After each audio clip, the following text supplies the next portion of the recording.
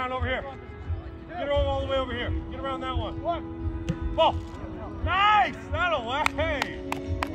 Now we're playing football. That away. Great footwork. Great. Hey, he's got a real That's good, man. Way to keep cutting it loose early and make him run to it. Right? Throw him over. Love that time. Good ball. Good ball. Good ball.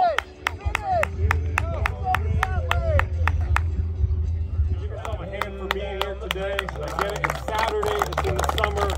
You guys could be out camping. You could be floating. You could be doing a lot of things in this beautiful place we call home. But you made a choice to be here today to get better and help your team and help your school. So I appreciate that. And you guys should be proud of.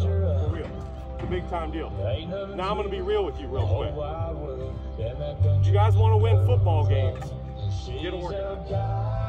Start demanding more out of yourselves. Receiver. Keeps missing you where you want to catch that football, grab them, pull them to the side, and have a chat. Say, hey, bro, love you. I need that football right here so I can do my job. Okay? Quarterback. If the receiver's not snapping his head around and running out of the break, keep firing it early and on time and get after his ass to get out there and go catch the football. It's July 20th. We have over six weeks to the first game. You guys right, man. I love you guys. Braves on three. One, two, three. Braves! I'll save you Thank you. Who else has something? Absolutely.